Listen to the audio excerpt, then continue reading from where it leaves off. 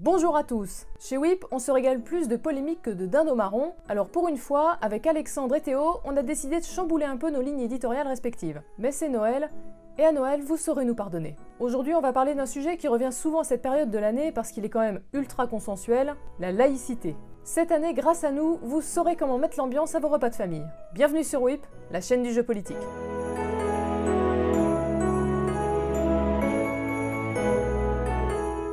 La laïcité, c'est extrêmement facile à comprendre. Une crèche a-t-elle sa place dans votre mairie? Non. Un sapin ou un Père Noël? Oui. Et chez vous? Eh bien vous faites comme vous voulez. Cette situation, nous la devons à la célèbre loi de séparation des églises et de l'État, adoptée en France en 1905 sous la Troisième République, et qui ne fait même pas mention du terme de laïcité apparu bien plus tard en droit français.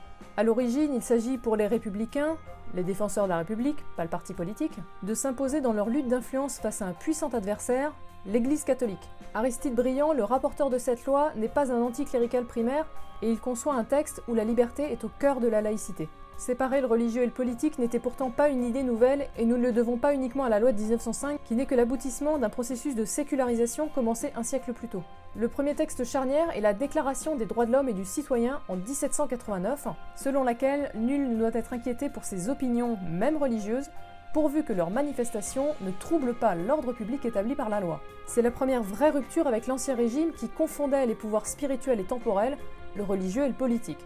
En 1791 ensuite, l'Assemblée accorde la citoyenneté pleine et entière aux protestants puis aux juifs et en 1792, la France instaure un état civil unique et neutre, avec notamment la création du mariage civil et du divorce. En 1801, avec le Concordat, l'État intervient dans le fonctionnement des cultes, puisqu'il organise des établissements publics du culte avec des salariés de droit public. On considère que la stabilité de l'État repose en partie sur la religion, mais que le pluralisme religieux est tout autant nécessaire. Ce régime a été abrogé par la loi de 1905, sauf en Alsace-Moselle, que les Allemands nous avaient piqué 35 ans plus tôt. Aujourd'hui, la laïcité à la française ne s'exerce donc pas également sur l'ensemble du territoire national, elle coexiste avec des régimes spéciaux en Alsace-Moselle donc, mais aussi dans certains territoires d'outre-mer. La dernière étape de ce cheminement, c'est notre constitution actuelle qui indique dès l'article 1er que la France est une république indivisible, laïque, démocratique et sociale. Pour en revenir à la loi de séparation des églises et de l'État, la laïcité n'est pas une opinion, c'est un principe juridique au cœur de notre République qui repose sur trois piliers que nous allons détailler tout de suite. La liberté de conscience, la séparation des institutions politiques et des organisations religieuses, l'égalité de tous devant la loi. Contrairement à ce qu'on peut lire ici ou là, la laïcité ce n'est ni l'athéisme ni l'interdiction des religions. C'est justement la liberté cultuelle. Chacun a le droit de croire ou de ne pas croire, d'avoir une religion ou non, d'en changer, et aucune personne n'a le droit d'imposer ou à l'inverse d'empêcher la pratique d'une religion. Mais tout cela ne peut se faire qu'à une seule condition, le respect de l'ordre public et des limites imposées par la loi. Par exemple, les prières de rue ne sont pas interdites parce que ce sont des prières, mais bien parce qu'elles bloquent des voies de circulation que tout un chacun doit pouvoir emprunter librement. Pour ce qui est de la séparation des institutions politiques et des organisations religieuses, cela veut dire que les cultes s'administrent librement et qu'ils sont tous égaux en droit. L'État ne prend le parti d'aucune religion, il n'en finance, n'en subventionne aucune, ni les lieux, ni les ministres du culte. L'État n'en favorise donc aucune. C'est à la fois une mesure de protection des croyances qui échappent au contrôle de l'État et ne sont donc pas soumises aux politiques, mais c'est aussi un problème dans la mesure où de nombreux cultes font part de leurs difficultés à s'organiser et à se financer dans un pays où la pratique religieuse diminue lentement mais sûrement. Si on ajoute à ça l'émergence de nouvelles religions qui n'étaient pas comprises en texte d'origine, vous comprenez que ce soit la merde. La séparation des églises et de l'État se traduit également par la neutralité du service public et l'interdiction d'apposer des emblèmes religieux dans les lieux publics, sauf exception, mais Alexandre et Théo vont vous parler de ces points plus longuement dans un instant. Dernier pilier, l'égalité de tous devant la loi. Tous les citoyens sont égaux devant l'administration et le service public sans distinction de religion. Ça, c'est dans notre constitution dès l'article 1er, c'est dire si on y tient. Dans les faits, est-ce que c'est vraiment toujours respecté? C'est plus mon rôle de le dire. Fini la théorie, je vais vous laisser avec Alexandre, sinon je suis prête à continuer et je vais monopoliser la parole, mais on est trois à avoir des choses à dire dans cette vidéo. Passons à la pratique maintenant. La laïcité s'articule autour de deux droits et deux nécessités. D'une part, garantir la liberté de conscience des citoyens, en gros ce que vous croyez, leur liberté d'expression religieuse, c'est-à-dire votre liberté à pouvoir affirmer publiquement votre foi, et en même temps, assurer la neutralité religieuse des pouvoirs publics, on entend par là qu'aucune religion n'est soutenue ou favorisée par l'État ou les collectivités territoriales. Et surtout, l'ordre public. Qu'est-ce qu'on entend par ordre public? C'est assurer la sécurité, la salubrité, la morale, la paix au sein de la société pour les individus. Pouf Eh bah c'est facile tout ça Cela aboutit à plusieurs règles du jeu qui ne sont pas toujours claires mais qu'on va expliciter. Déjà au niveau des citoyens, de la religion et de l'espace public. Alors déjà on entend souvent parler d'espace public, mais il faut savoir que la définition n'a pas toujours été très claire. Il a fallu attendre la loi du 11 octobre 2010 sur l'interdiction de la dissimulation du visage dans l'espace public pour en avoir une définition. Et celle-ci en donne pour acception juridique les voies publiques ainsi que les lieux ouverts au public ou affectés à un service public. Dans cet espace public, c'est la liberté d'expression des convictions religieuses qui s'applique. En gros, tout un chacun peut communiquer sa foi et porter des vêtements aux signes religieux conformes à sa confession, tant que la tête n'est pas camouflée mais l'affirmation de sa religion ne doit en aucun cas causer des troubles à l'ordre public. Pour les manifestations religieuses comme les processions, les pardons, les prières de rue, les pèlerinages et j'en passe, les autorités les admettent dans l'espace public tant qu'elles sont déclarées. Mais une exception demeure à ce propos, c'est celle du caractère traditionnel de la manifestation religieuse. Si une telle manifestation est principalement un usage local pour maintenir une tradition, celle-ci ne requiert pas d'être déclarée. Et là vous allez me dire, qui décide de cela? Eh bien, c'est avant tout l'appréciation du juge qui définit ce caractère folklorique dans une manifestation religieuse. Dans tous les cas, les représentants de l'État ne peuvent pas interdire abusivement une manifestation religieuse au nom de la liberté d'expression des convictions cultuelles. Bon, ensuite, pour ce qui est de la religion dans les services publics. Dans les services publics, le principe de la neutralité religieuse s'applique. Comme dans l'espace public, les usagers peuvent exprimer leur appartenance confessionnelle et là aussi porter des tenues vestimentaires ou des signes religieux. Il n'y a donc aucun manquement à la laïcité quand un citoyen arbore un col romain, une robe pastorale, un camis, dans le bus ou au centre des finances publiques. Néanmoins, l'habit ne doit pas porter atteinte à l'ordre public. Et là aussi, seule une proscription demeure, il ne faut pas que l'habit camoufle le visage de l'usager, au titre de la loi du 11 octobre 2010 sur l'interdiction de la dissimulation du visage dans l'espace public. Cette loi votée après les polémiques sur la burqa et le niqab ne s'applique pas exclusivement contre ces tenues, mais concerne autant le port d'un casque, d'un masque, d'une cagoule, voire d'une capuche trop ample.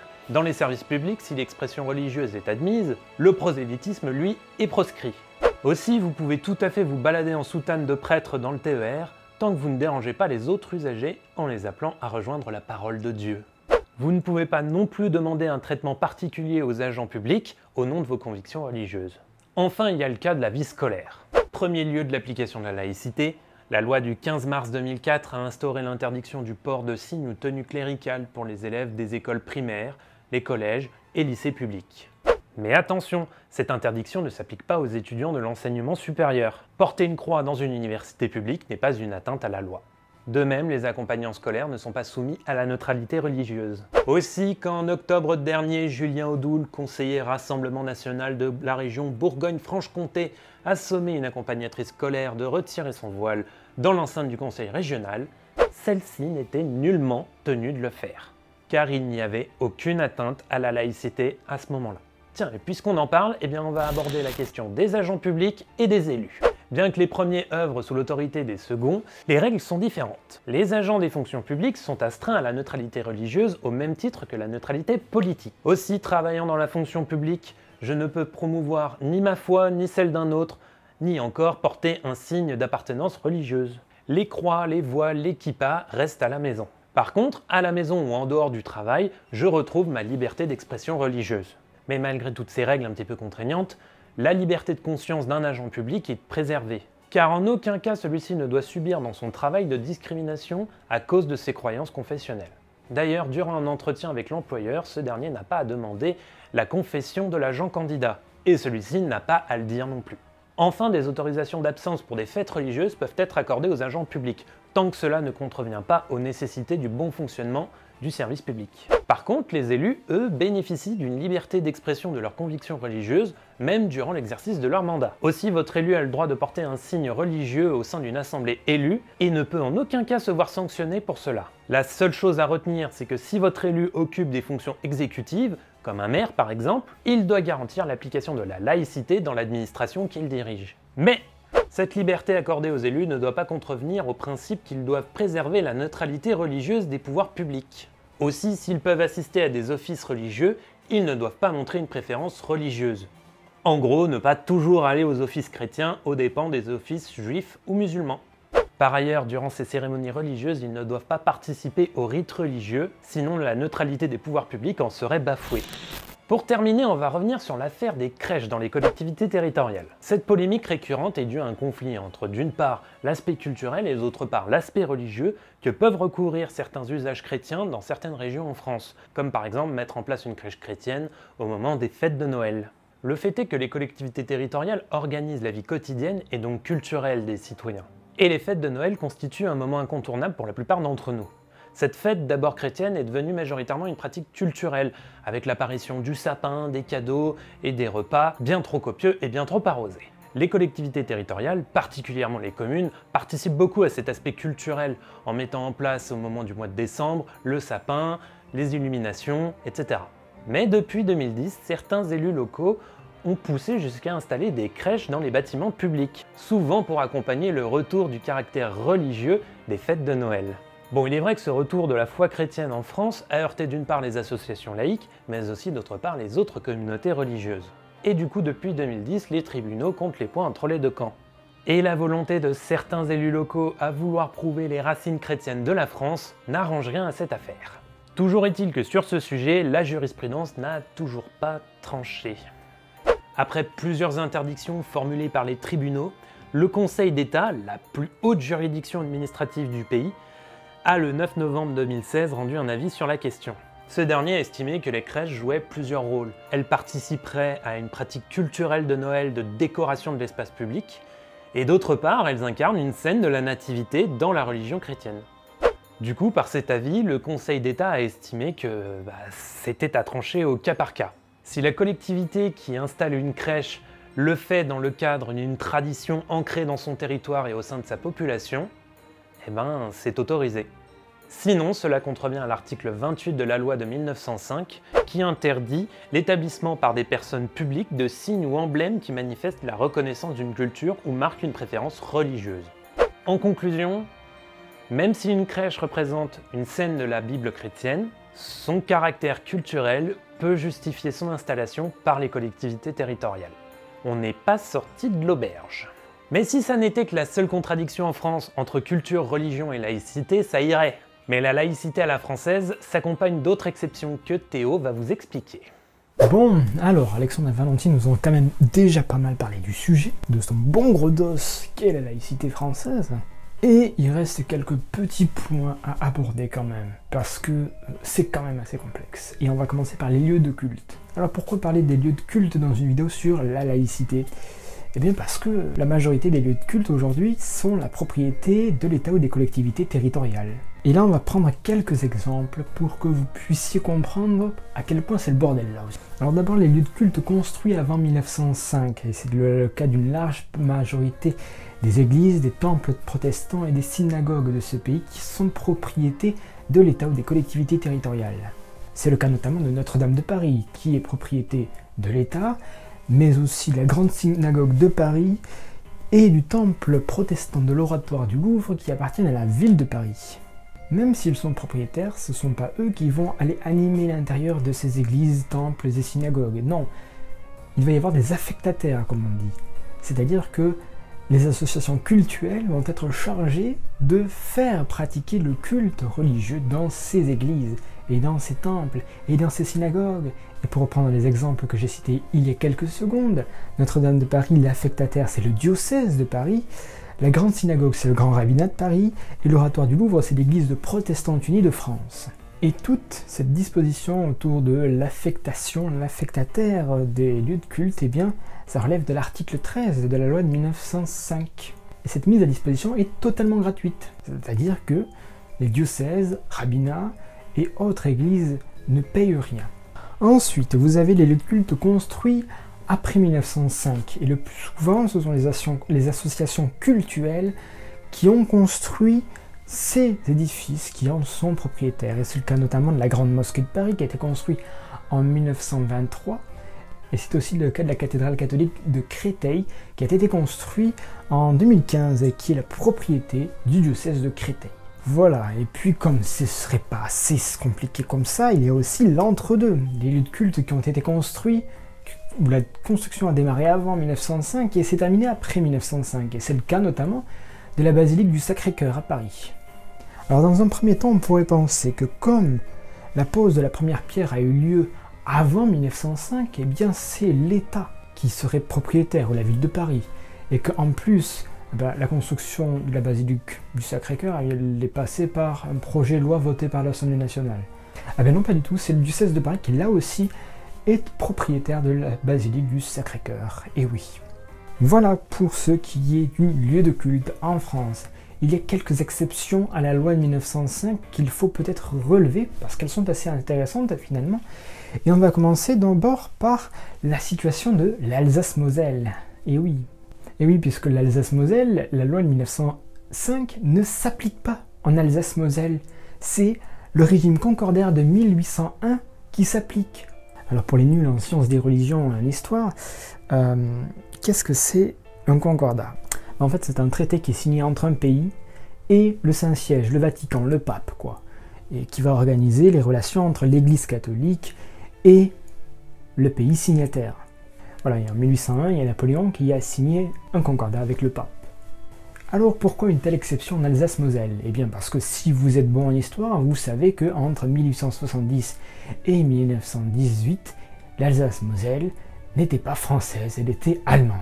Et donc, la loi de 1905 ne s'est jamais appliquée sur ce territoire. Et c'est resté ainsi des années et des années après. Et du coup, qu'est-ce que ça change? Eh bien ça change deux, trois trucs. Juste, euh, les églises protestantes, luthériennes, catholiques, et la religion juive sont reconnus comme des religions. Les ministres de ces différentes religions, les prêtres, les pasteurs, les rabbins, sont des fonctionnaires d'État, de catégorie A en plus. Et pour l'Église catholique, les évêques de Metz et de Strasbourg sont nommés en Conseil des ministres par le président de la République. Deuxième particularité qui concerne le chef de l'État et qui est liée aussi au catholicisme. Le président de la République est l'héritier des rois de France, pour faire court. Il est aussi chanoine de plusieurs églises et cathédrales françaises, mais aussi de la basilique de Saint-Jean du Latran, qui n'est pas n'importe quelle basilique dans le monde, c'est la cathédrale du pape. Enfin, dernière particularité, toujours en lien avec le christianisme, et qui concerne tous les citoyens, croyants comme non-croyants, ce sont les jours fériés. On a au niveau national, sans compter les particularités locales, 11 jours fériés en France. Cinq jours fériés sont des jours de fête civile et six autres jours fériés sont liés aux solennités catholiques. Ainsi, vous avez le lundi de Pâques, vous avez le jeudi de l'Ascension, vous avez le lundi de la Pentecôte, vous avez le jour de l'Assomption, vous avez le jour de la Toussaint vous avez le jour de Noël qui sont fériés. Donc là aussi, malgré la loi de 1905 sur la séparation de l'Église et de l'État, on a quand même des jours fériés à caractère religieux, et en plus une majorité de jours fériés à caractère religieux. Voilà, on a fait le tour de pas mal de choses quand même, et je crois que c'est l'heure de retrouver Valentine. Merci d'avoir regardé cette vidéo, normalement vous êtes incollable. Ou presque. Vous avez peut-être la tête dans les cadeaux, c'est la dernière ligne droite, mais n'oubliez pas les réflexes qui sauvent, un like, un partage. Si vous avez des questions, besoin de précision parce qu'on a été assez rapide, ou si vous avez juste envie de donner votre avis, n'hésitez pas à aller mettre un commentaire dans la section qui est dédiée juste en dessous. Profitez bien de vos repas de Noël pour faire notre pub auprès de vos proches. Joyeux Noël à tous et à très bientôt sur Oui.